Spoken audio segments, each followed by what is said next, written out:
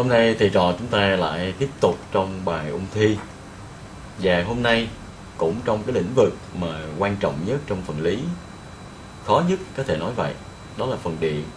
Thầy cũng tiếp tục trao đổi về một số dạng toán mới trong điện. Đó là những dạng toán về sự thay đổi của các đại lượng Như độ tự cảm, điện dung của tụ, biến trở hay tần số. Những bài toán mà có sự thay đổi của các đại lượng trong mạch điện và từ những bài tự luận dài, bây giờ chúng ta tìm cách giải những bài tập đó và rút lại thành những cái công thức, trở thành những công thức cơ bản cho các em nhớ để vận dụng vào những bài tập mang tính tự luận mà nằm trong trách nghiệm. Chúng ta bắt đầu bài.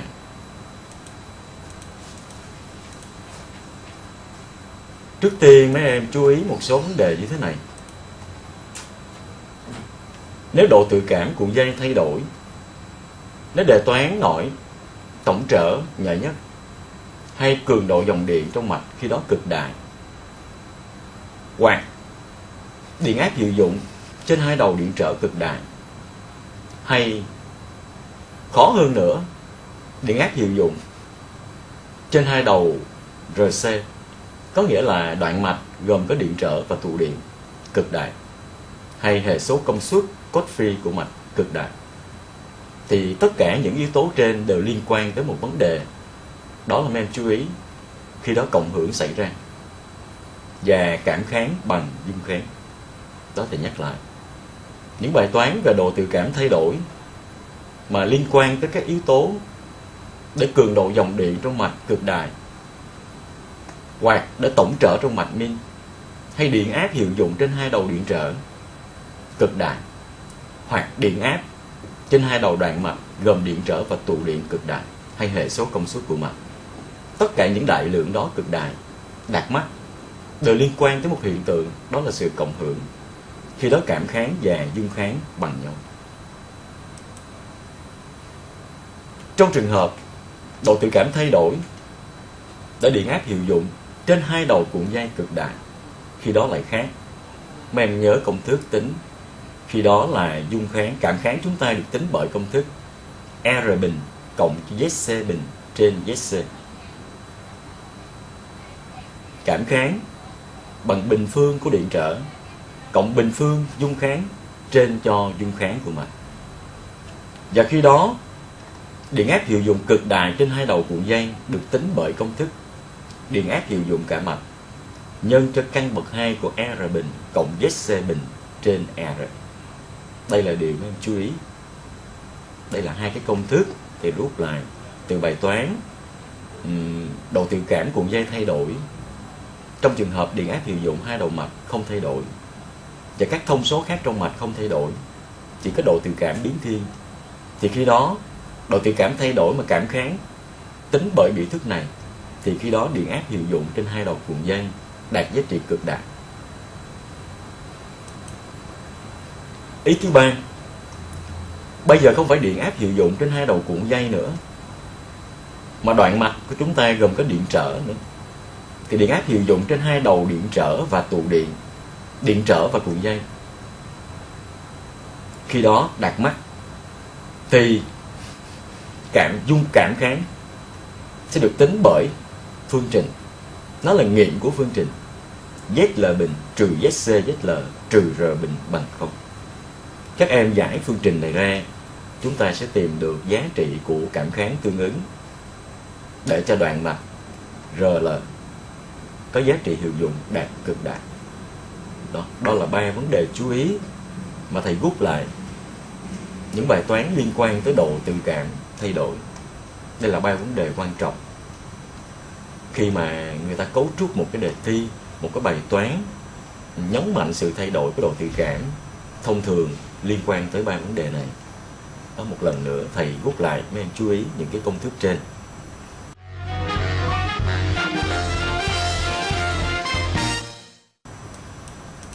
Tôi qua một số ví dụ từ các cái đề thi của các năm gần đây. Người ta đặt một cái điện áp có biểu thức tổng quát là U0 cos omega t vào hai đầu đoạn mạch nối tiếp gồm một cuộn cảm thuần có lờ thay đổi tụ điện và một điện trở cho biết giá trị của điện trở và giá trị của dung kháng bằng nhau bằng 50 ôm. Bây giờ ta thay đổi giá trị độ tự cảm để cho điện áp hiệu dụng trên hai đầu cuộn dây cực đại. Hỏi khi đó hệ số công suất của đoạn mạch là bao nhiêu? Đây là bài toán thay đổi L mà điện áp hiệu dụng trên hai đầu cuộn dây cực đại, nên chú ý. Nhưng người ta không hỏi ZL, người ta không hỏi giá trị cực đại của điện áp hiệu dụng người ta lại hỏi hệ số công suất của mạch khi đó. Chúng ta có bốn đáp án.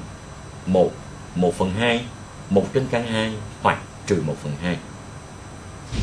Các em chú ý xem bài giải trước tiên như thầy nói ta nhớ cái công thức um, cảm kháng được tính khi L thay đổi mà U L cực đại được tính theo dung kháng và điện trở.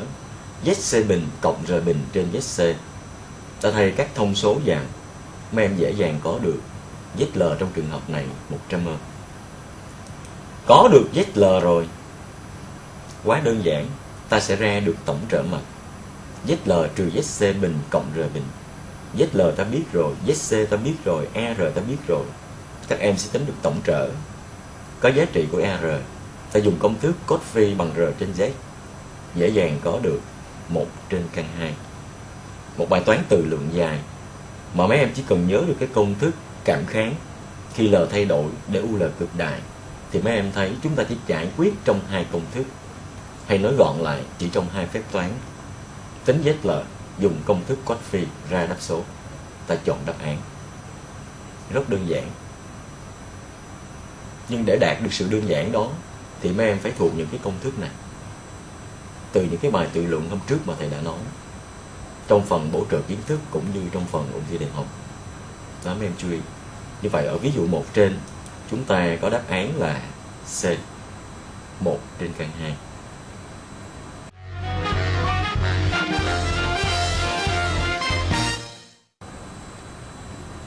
cũng cho đoạn mạch LRC nối tiếp.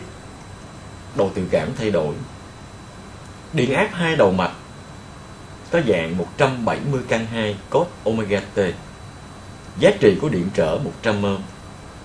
Giá trị điện dung của tụ 10 mũ trừ 4 trên 2 pi farad.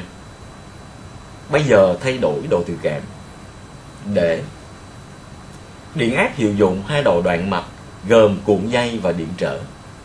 Vuông pha với điện áp hiệu dụng. Vuông pha với điện áp hai đầu đoạn mạch gồm có điện trở và tụ điện. Xác định giá trị độ tự cảm tương ứng.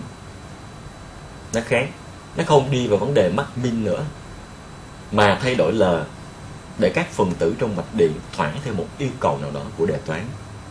Trong trường hợp này em chú ý, lại là sự lệch pha của hai điện áp trong mạch. Điện áp của đoạn mạch gồm cuộn dây và điện trở, và điện áp của đoạn mạch gồm điện trở và tụ điện vuông pha nhau. Một dạng toán cũng lờ thay đổi mấy em cái sự biến hóa trong cái vấn đề đề nhưng mà dù có biến hóa đề như thế nào đi chăng nữa, nếu như ta nắm được những cái kiến thức cơ bản về mạch điện, về sự lệch pha của UL so với Y của UC so với Y so với R, cũng như những cái công thức tính về hệ số công suất công suất điện áp tổng trở trong từng đoạn mạch thì các em sẽ dễ dàng giải được cái bài toán này. Chúng ta có bốn đáp án theo đề trắc nghiệm cho. 1 phần 2 bi Angry 1,5 trên bi Angry 0,25 bi trên Angry hay 0,05 trên bi Angry Đây là một bài toán về sự lệch pha giữa điện áp các phần tử trong mạch điện cho nên thầy sẽ tóm tắt bằng cái giảng đồ vector này như sau Bạn Vector UR luôn cùng pha với vector Y, cường độ dòng điện thì chọn làm trục. Nằm ngang. Vector UL điện áp trên hai đầu cuộn dây luôn vuông pha với vector Y. Hay vector UR là đoạn thẳng nằm phía trên và nằm vuông góc. Cũng vậy vector UC biểu diễn, sự lệch pha của điện áp, hai đầu tụ điện, luôn luôn chậm pha so với vector UR một góc, trừ bi trên 2 đó là đoạn thẳng nằm dưới, vector nằm dưới. Và vuông góc với lại UR khi đó, tổng hai vector UL và UR chính là vector ULR đó là vector điện áp. Hai đầu đoạn mạch gồm có cuộn dây và điện trở vector UC cộng vector UR thì chúng ta có vector URC đó chính là điện áp giữa hai đầu điện trở và tụ điện. Để cho chúng vuông pha thì biểu diễn góc vuông. Và gọi lần lượt phi 1, phi 2 là góc tạo bởi vector ULR và vector UR cũng như phi 2 là góc tạo bởi vector URC và UR. Ở đây em chú ý phi 2 âm vì chậm pha hơn nên âm, còn phi 1 dương. Và tổng giữa phi 1 và phi 2 về độ lớn bằng pi trên 2. Nhưng nếu xét dấu thì chúng ta sẽ có là phi 1 trừ phi 2 bằng pi trên 2 bởi vì phi 2 mang giá trị âm. Đó là một đặc điểm chú ý rút ra từ cái giảng đồ vector Resnan Khi làm những bài toán về độ lệch pha thì các em nên vẽ nhanh ngồi nhát các vector biểu diễn các đại lượng trong mạch điện. Rồi tùy vào cái yêu cầu cũng như những giả thiết của đề cho mà chúng ta sẽ tóm tắt toàn bộ đề trên giảng đồ vector và từ đó chúng ta dùng yếu tố hình học để chúng ta giải. Cụ thể như bài này. Như thầy nói, thầy gọi phi 1 phi 2 là góc lệch pha của ULR và URC so với UR vì phi 1 trừ cho phi 2 tại sao trừ như thầy nói? Phi 2 nó âm. Phi 2 âm. Vì chậm pha hơn. URC chậm pha hơn so với UR hay là vector Y cường độ dòng điện của mạch cho nên âm. Do đó, phi 1 trừ phi 2 sẽ bằng đi trên 2 cho nên, chúng ta sẽ có tan phi 1 nhân tan phi 2 bằng trừ 1 đây là kiến thức lượng giác mà mình chú ý nhớ. Tại vì phi 1 trừ phi 2 bằng pi trên, bằng pi trên 2 vì vậy, tan phi 2 chính là trừ cô tan phi 1 mà tan nhân cô tan thì bằng 1 vì vậy tan nhân trừ cô tan bằng trừ 1 đây là một cái kiến thức tự giác. Các em cứ nhớ, hệ hai góc trừ nhau bằng pi trên 2 thì tan góc này nhân tan góc nọ sẽ bằng trừ 1 tan phi 1 nhìn vào hình, bằng ZL trên R. Vì UL trên UR cũng chính là ZL trên R. Tương tự vậy, tan phi 2 chính là UC trên UR hay ZC trên R, bằng 1 thì bỏ dấu trừ hai bên đi. Cái tan phi 2 này mang dấu âm. Bằng trừ ZC trên R, trừ hai bên thì ước lượng đi. Cho nên trong công thức của mình là ZL trên R nhân ZC trên R bằng 1 ta suy ra R bình bằng ZL nhân ZC vậy thì ZL thì bằng L, omega. ZC thì bằng 1 trên C, omega. Đại lượng omega chúng ta rút gọn đi. Từ đó mấy em sẽ dễ dàng tính ra được độ tự cảm của cuộn dây tương ứng.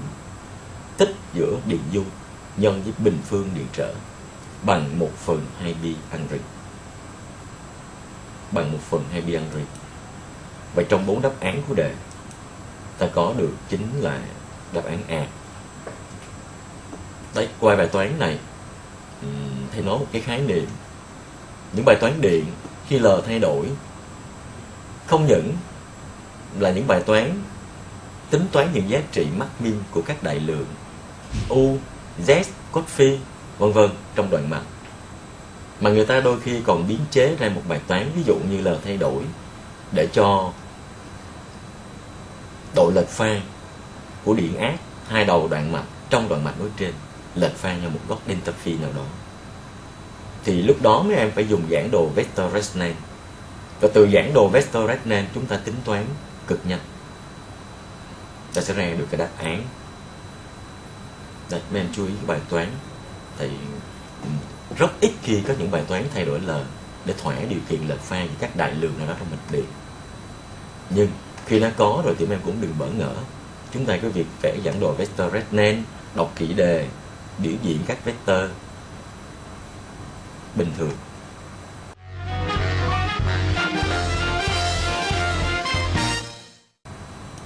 Tại rồi chúng ta bước qua một cái ví dụ số 3 Có một đoạn mạch RLC nối tiếp và bài toán cũng là độ tự cảm thay đổi. Điện áp hai đầu đoạn mạch đề cho là 170 căn 2 cos 100 t điện trở 80 ohm điện dung của tụ 10 mũ trừ 4 trên 2 bi farad người ta thấy rằng khi thay đổi L, có hai giá trị của L, mà công suất của mạch đều có chung một giá trị là 80 W hỏi hai giá trị L đó là bao nhiêu? Độ tự cảm chúng ta lần lượt có trong những bốn đáp án ABCD trên. Đây là cái đề thi năm 2008 các em chú ý, L thay đổi để công suất có chung một giá trị nào đó. 80 quán, cụ thể ở đây là 80 quán, hỏi hai giá trị L đó. Các thông số còn lại chúng ta đã biết, điện trở độ điện dung và biểu thức, điện áp cả mặt. Ta giải như sau. Trước tiên từ công thức của công suất B bằng RI bình. Thầy tìm ra được cường độ dòng điện 1 ampe. Và tính dung kháng 1 trên C omega 90 ohm. Từ công thức tổng trở, R bình cộng ZL trừ ZC bình bằng U hiệu dụng trên Y hiệu dụng. Thầy có được cái phương trình. Trong đó ZL độ dung kháng là biến số. Phương trình này dễ dàng, các em giải được, chúng ta sẽ có hai giá trị của ZL.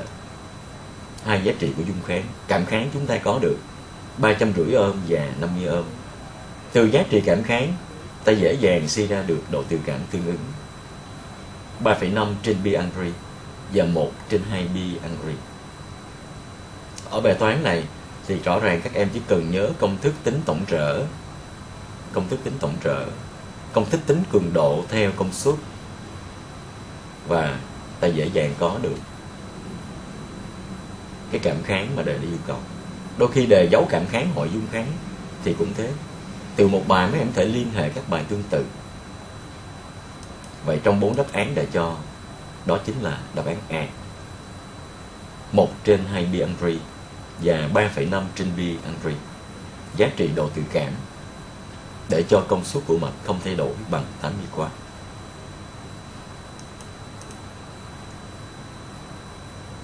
Bây giờ thầy nói qua sự thay đổi của điện dung. Cũng vậy, giống như một số chú ý trong trường hợp mà thầy nói thay đổi độ thiện cảm. Những bài toán về thay đổi điện dung thông thường tính tổng trở nhỏ nhất, cường độ dòng điện cực đại hay điện áp hiệu dụng trên hai đầu điện trở cực đại hay điện áp hiệu dụng trên hai đầu đoạn mạch gồm điện trở và cuộn dây cực đại hoặc hệ số công suất của mạch cực đại. Những yếu tố trên đều liên quan tới một vấn đề đó là sự cộng hưởng. Em chú ý, khi đó mạch cộng hưởng ZL bằng ZC. Khi đó mạch cộng hưởng, khi C thay đổi mà để điện áp hiệu dụng trên hai đầu trở hay hai đầu đoạn mạch gồm điện trở cuộn dây hay hệ số công suất hay cường độ dòng điện đạt cực đại khi đó sự cộng hưởng xảy ra. Chúng ta có dung kháng bằng cảm kháng. Vấn đề thứ hai những bài toán liên quan tới sự thay đổi điện dung. Đó là thay đổi điện dung để điện áp hiệu dụng trên hai đầu tụ cực đại, thì các em nhớ hai công thức khi đó dung kháng tương ứng chúng ta sẽ được tính bởi công thức R bình cộng ZL bình trên ZL và điện áp hiệu dụng cực đại trên hai đầu tụ bằng U nhân căn bậc 2 của R bình cộng ZL bình trên R. Ở đây có U hiệu dụng, U cả mặt đấy nhân cho căn bậc 2 của R bình cộng ZL bình trên R. Chú ý thứ ba thay đổi C để đoạn mạch gồm có tụ điện và điện trở cực đại. Thì khi đó, giá trị của dung kháng chính là nghiệm của cái phương trình bậc 2 này. ZC bình trừ ZL ZC trừ R bình bằng không. Đó là ba cái chú ý đặc biệt quan trọng liên quan tới những bài toán về sự thay đổi điện dung tụ điện. Mà mấy em chú ý, từ những bài tự luận rất dài, nếu các em nhớ được những cái công thức này, nhớ cụ thể các cái trường hợp này, ta áp dụng ta tính toán thì thời lượng trắc nghiệm gần 2 phút, chúng ta sẽ là hoàn thành. Chỉ bằng hai phép toán mấy em đã ra được cái đáp án. Chú ý ghi lại những cái công thức quan trọng này liên quan tới những bài toán điền về sự thay đổi của điện dung tóm lại, hôm nay thầy trò chúng ta trao đổi với nhau những dạng toán về sự thay đổi độ tự cảm và điện dung trong mạch điện. Thì mấy em chú ý ừ, giữa độ tự cảm thay đổi và điện dung thay đổi có một số công thức tương đồng và giống nhau nên thầy đưa vào trong một cái tiết để mà em liên tưởng và dễ nhớ. Khi điện dung thay đổi hoặc là độ tự cảm thay đổi, mà những đại lượng khác như là tổng trở mạch nhỏ nhất, y cực đại, điện áp hiệu dụng trên hai đầu trở, hay điện áp hiệu dụng trên hai đầu trở và ừ, cái giá trị còn lại không thay đổi, cực đại, hay cốt phi hệ số công suất của mạch cực đại, để liên quan cái vấn đề cộng hưởng còn nếu thay đổi giá trị L hoặc C để điện áp hiệu dụng tương ứng trên các phần tử đó cực đại, thì nó có cái công thức tương ứng để mấy em nhớ. Ví dụ như ZC thì lại được tính bởi cái công thức là R bình cộng ZL bình trên ZL thì ZL lại được tính bởi công thức R bình cộng ZC bình trên ZC nó có sự tương ứng thay đổi các đại lượng để chúng ta dễ nhớ. Và trường hợp thay đổi C để đoạn mạch, khó hơn tí xíu đó là URC max, hoặc thay đổi L để đoạn mạch URL max, thì mấy em nhớ ZL hoặc ZC sẽ là nghị của phương trình bậc 2 ZC bình trừ ZL ZC trừ R bình bằng không. Đó là ba cái điểm thầy chú ý ở cái bài toán thay đổi L cũng như thay đổi C.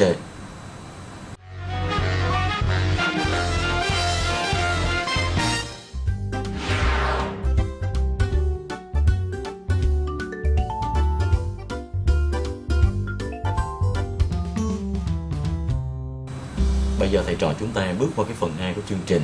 Đó là phần thầy giải đáp thắc mắc của các em. Thầy xin mời các em. Trong thời gian em có gặp một số vấn đề khó khăn, Hôm nay em ờ, mong thầy giúp dùm em ờ, giải câu hỏi này. Biểu thức của điện tích trên tụ C của mạch dao động LC Q bằng Q0 cos omega T Sau 1 phần 8 T dao động thì tỷ số giữa năng lượng từ và năng lượng điện trong mạch là bao nhiêu? A là 1, B là pi, C là 1 phần 8 và D là pi chia 2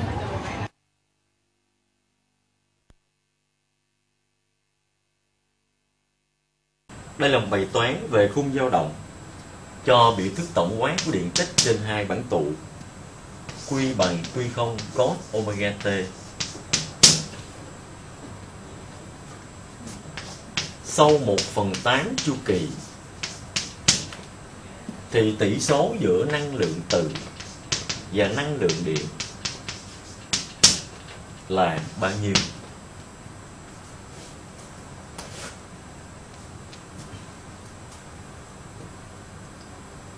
Thì sau 1 phần 8 chu kỳ tính từ lúc ban đầu, Mấy em thấy, khi vào lúc ban đầu và thời điểm t bằng 0 Chúng ta có điện tích trên hai bản tụ Q0 cốt 0 là 1 Tức là điện tích trên hai bản tụ đạt giá trị cực đại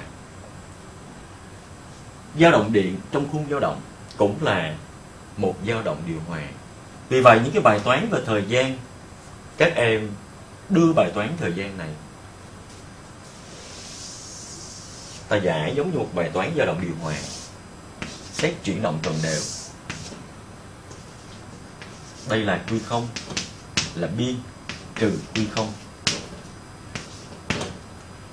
Sau một phần tám chu kỳ vào lúc ban đầu, t bằng 0 điện tích đang cực đại. Các em tính cái góc quét omega t chính là 2pi t nhỏ chúng ta là 1 phần 8 chu kỳ. Vậy thì góc quét pi trên 4 đó là khi đó, khung dao động chúng ta đang ở đây. Và điện tích trên tụ lúc đó là Q0 đây là góc pi trên 4 như vậy là Q0 căn 2 trên 2 Q0 căn 2 trên 2 Và các em nhớ lại cái công thức năng lượng từ. Tổng năng lượng từ và năng lượng điện trong khung dao động lý tưởng sẽ bằng năng lượng từ trường cực đại hoặc năng lượng điện trường cực đại. Năng lượng điện trường cực đại Q không bình trên 2C với C là điện dung của tụ.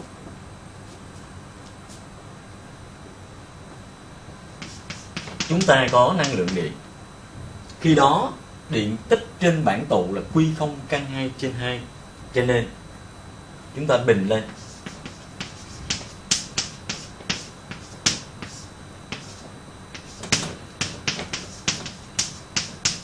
Mấy em nhận thấy, căn 2 trên 2 bình lên là 1 phần 2 1 phần 2 tức là ta sẽ có năng lượng từ cộng cho quy không bình trên 2 lần 2C.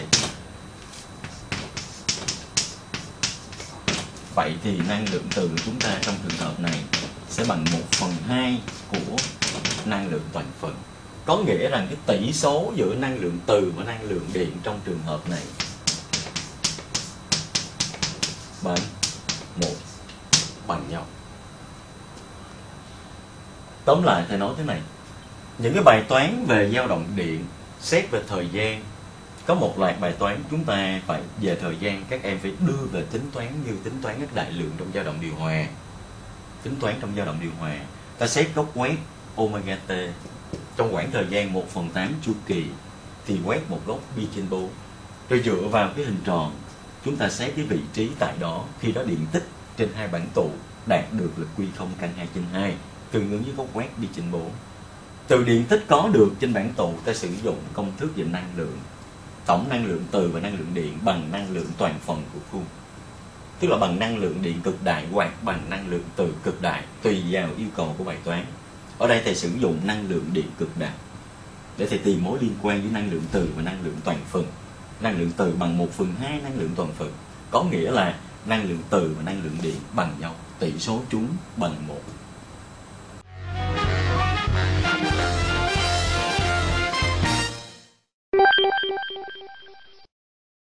Rất vui được gặp lại các bạn học sinh trong phần giải đáp những câu hỏi gửi về trang web htv4.vn và sau đây là nội dung của câu hỏi. Thưa thầy, phần dao động cơ em đã học qua nhưng vẫn còn một số vấn đề em chưa hiểu. Ví dụ như là các dạng toán về tính toán về thời gian, quãng đường, các công thức max, min tương ứng nhân dân. Em mong là thầy giảng lại chứ nhớ một cách máy móc các công thức thật không dễ học tí nào. Đây quả là một tâm sự rất là khó khăn của một bạn học sinh. Xin thầy vui lòng cho biết ý kiến của thầy ạ. À. Đây là cái câu hỏi mang tính ờ, tổng quát và cũng là một câu hỏi mà tôi rất hay gặp ở các các em mà tôi đang dạy trong các năm qua. Những cái bài toán khó, những cái công thức mà nó nằm ngoài cái chương trình phổ thông của các em trong giáo trình, trong giáo khoa thì ờ, thông thường các em hay lúng túng và nếu như các em đọc được đâu, ở đâu đó những cái bài tập, những cái công thức tóm tắt và các em nhớ, thì đó là nhớ một cách máy móc khi chúng ta chưa hiểu thì khả năng vận dụng nó cũng sẽ không có được. Chúng ta sẽ vận dụng nó sẽ khác trường hợp thì bài toán sẽ khác đi. Đặc biệt là toán về dao động cơ, về dao động điều hòa. Những bài toán tính toán về thời gian, quãng đường, vận tốc trung bình thì tôi đã từng trao đổi với các em. Các em phải nhớ là những cái ví dụ áp dụng từ những ví dụ tự luận sang đến những ví dụ trắc nghiệm của những cái đề thi gần đó mà cái nội dung liên quan tới tính toán về thời gian, tính toán về quãng đường. Đặc biệt những bài toán về thời gian trong giai đoạn điều hòa là những bài toán cực khó mà cấu trúc đề thường hay sử dụng yếu tố đó. Tôi nói là một số vấn đề vấn đề đó, ví dụ như tính thời gian min, các em luôn luôn nhớ. Đó chính là công thức 2A sin delta phi trên 2 delta phi là gì? Delta phi là cái góc quét trong khoảng thời gian đó. Là cái quãng đường ngắn nhất đi trong khoảng thời gian delta t được tính bởi công thức 2a sin delta phi trên 2 và cũng như vậy, cái quãng đường lớn sẽ được tính.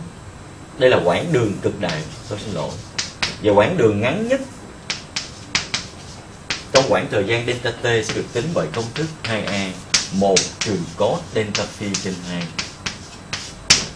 trong đó delta phi chính là cái góc quét trong khoảng thời gian mà chất điểm đi được. Đó, em chú ý hai cái công thức quan trọng. Hai cái công thức quan trọng này. Quãng đường lớn nhất đi trong khoảng thời gian delta t khi đó chất điểm thực hiện góc quét delta phi sẽ được tính bởi công thức 2a sin delta phi trên 2 và quãng đường ngắn nhất đi trong khoảng thời gian delta t sẽ được tính bởi công thức 2a thừa số cho 1 trừ cos delta phi trên 2.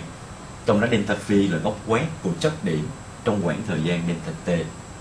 Đây là hai cái câu quan trọng, hai cái ý quan trọng để mấy em nhớ hai công thức này và giải quyết những cái bài toán khó tìm quãng đường lớn nhất hay quãng đường nhỏ nhất khi con lắc là so đi từ đi trong khoảng thời gian một giây trong một chu kỳ vân vân những bài toán liên quan tới thời gian trong toán công lắc đơn hoặc công lắc lò so tính vào quãng đường hay tính vào vận tốc trung bình. Để mà các em chú ý hai cái công thức này. Đây là hai cái công từ hai công thức này, ta sẽ vận dụng và giải quyết những bài toán khó khác mà cực nhanh. Chứ chúng ta không cần phải đi lại những vấn đề này. Các em chú ý thuộc cho thầy hai cái công thức này. Để giải một số bài toán khó về dao động cơ. Tính toán tới đại lượng thời gian hay vận tốc trung bình hoặc tốc độ trung bình.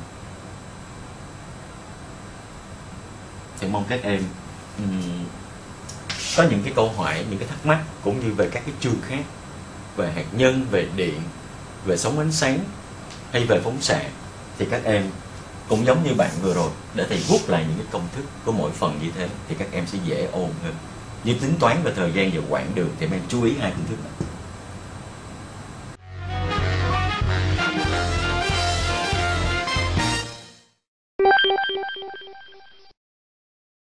Trình ôn tập thì em có một số thắc mắc. Hôm nay em có một câu hỏi gửi đến thầy nhờ thầy giải đáp giúp em. À, câu hỏi của em là à, nếu mắc nối tiếp tụ C1 với cuộn cảm L thì mạch thu được có bước sóng lambda 1 và 100 m à, nếu thay tụ C1 với tụ C2 thì mạch thu được có bước sóng 80 m nếu mắc nối tiếp tụ C1 và tụ C2 thì mạch thu được có mức sóng là bao nhiêu? A 100 m B 90,2 C 62,5 D 60 à, em xin cảm ơn. Trước tiên thì tóm tắt ý câu hỏi của em như sau. Đâu, đây cũng là một bài toán về khung dao động mà tính toán về tần số, chu kỳ hoặc bước sóng theo các cái đại lượng tương ứng. Đầu tiên khung chúng ta tụ cái điện dung C1 L là độ tự cảm cuộn dây thì khung sẽ có bước sóng lambda 1 100 m. Khi thay tụ C1 bằng tụ C2 thì khung có bước sóng tương ứng 80 m. Hỏi rằng khi tụ C1 nối tiếp với tụ C2 thì bước sóng thu được của chúng ta là bao nhiêu? Thì trước tiên các em nhớ, khi hai tụ nối tiếp nhau thì điện dung tương đương sẽ được tính bởi công thức này. Tích của C1 C2 trên C1 cộng C2. Và đồng thời các em phải nhớ tới công thức tính bước sóng. Chúng ta có công thức 2BV, V là vận tốc truyền sóng nhân cái căn của LC1 ứng với bước sóng 1. Và tương tự như vậy, ứng với bước sóng 2, chúng ta có công thức 2BV căn của LC2. Và trong trường hợp nối tiếp, khi đó bước sóng tương ứng chúng ta 2BV căn của L C. Ta thay vào LC1 C2 đến đây, ta tính lambda theo lambda 1 và lambda 2 về mặt vật lý thì đến đây, các em nhớ những công thức này cũng như nhớ công thức tính điện dung tương đương khi hai tụ nối tiếp. Và đến đây chúng ta về mặt toán học. Từ biểu thức đã cho chúng ta tìm mối liên quan giữa lambda với lambda 1 và lambda 2 thì em chú ý nó ở trên tôi rút ra LC1 sẽ bằng lambda 1 bình trên 4 pi bình V bình. Và tương tự, biểu thức thứ nhì, tôi rút ra được LC2 bằng lambda 2 bình trên 4 pi bình V bình. Trên 4 pi bình V bình. Thì ở đây LC1 tôi thêm vào L thì dưới này cũng thêm vào L. Thì chúng ta sẽ có tổng LC1 cộng LC2 sẽ là lambda 1 bình trên 4 pi bình V bình cộng cho lambda 2 bình trên 4 pi bình V bình cổ tích LC1 nhân LC2 thì lại bằng lambda 1 bình nhân lambda 2 bình. Trên cho 4 pi V bình 4 pi bình V bình.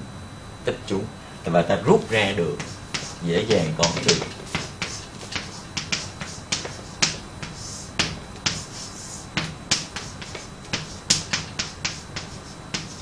Sau đó các em thay thông số vào chúng ta các em sẽ có được cái đáp số tương ứng để chọn. Đó, thầy tóm tắt là như thế đây là cái quá trình dọn giác đến đây vật lý. Và đến đây tìm mối liên quan với các đại lượng lambda theo lambda 1 và lambda 2 đó là về mặt toán học. Các em rút thay thế vào. Thì chúng ta sẽ tìm để được lambda được tính theo lambda 1 và lambda 2 bởi công thức này. Và các em nhớ cái công thức này thôi. Khi hai tụ nối tiếp với nhau, thì bước sóng tương ứng, tính theo hai bước sóng thành phần bởi công thức này. Tích lambda 1 lambda 2 trên cho căn bậc 2 của tổng bình phương lambda 1 và lambda 2 ở đây sẵn cái câu hỏi này của em. Thầy cũng nhắc luôn, trong trường hợp mà song song thì điện dung tương đương chúng ta lại bằng C1 cộng C2 điện dung tương đương với chúng ta bấy giờ lại bằng C1 cộng C2 cho nên cái chỗ này chúng ta lại là L C1 cộng C2 vì vậy các em chỉ cần tính cái tổng LC1 cộng LC2 cộng LC1 LC2 và tương ứng chúng ta sẽ có cái lambda chúng ta trong trường hợp đó sẽ bằng căn của